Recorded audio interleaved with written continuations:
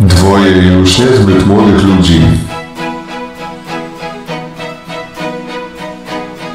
którzy nic nie zmienili w swoim życiu.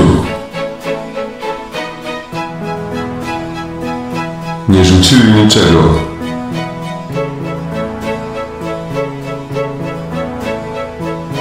Postanowili cieszyć się z każdej drobnej rzeczy.